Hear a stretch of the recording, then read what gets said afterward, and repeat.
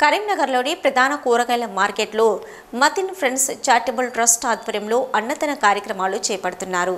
వంద వారాలు పూర్తి చేసుకున్న సందర్భంగా ప్రత్యేక కార్యక్రమాన్ని ఏర్పాటు చేశారు state civil supply corporation chairman Ravinder Singh. Mayor Sunil రావులు ముఖ్య అతిథులుగా హాజరయ్యారు. ఈ సందర్భంగా కేక్ కట్ చేసి సంబరాలు నిర్వహించారు. ట్రస్ట్ ప్రతినిధులు రవీందర్ సింగ్ సునీల్ రావులను శాల్వాలతో సత్కరించారు. కరోనా సమయంలో పలు సంస్థలు వేలాది మందికి అన్నదాన కార్యక్రమాలు చేశారని రవీందర్ సింగ్ అన్నారు. రైస్ మిల్లర్లను అన్నదానాలు చేయాలంటూ సూచిస్తుంటారని తెలిపారు. సీఎం కేసీఆర్ పేద విద్యార్థుల దృష్టిలో ఉంచుకొని అల్పాహారం అందిస్తున్నారని చెప్పారు. కడుపు నిండా అన్నం పెడుతున్న మతిన్ ఫ్రెండ్స్ను అభినందించారు. మధ్యాహ్న భోజనంతో పాటు అల్పాహారం అందిస్తుందని గుర్తు చేశారు.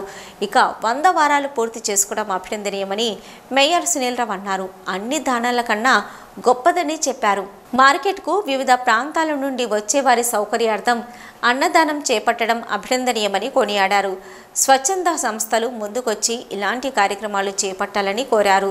ఈ కార్యక్రమంలో state civil supply corporation chairman Ravinder Singh mayor Sunil Rao Mateen friends charitable trust అధ్యక్షుడు వీరారెడ్డితో పాటు కార్యదర్శి మతిన్ చారిటబుల్ ట్రస్ట్ ప్రతినిధులు సభ్యులు తదితరులు పాల్గొన్నారు.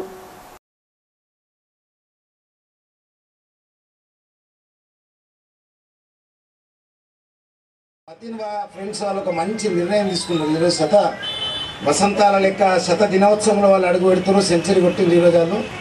కాబట్టి వారిని నేను మనస్ఫూర్తిగా అభినందిస్తున్నాను.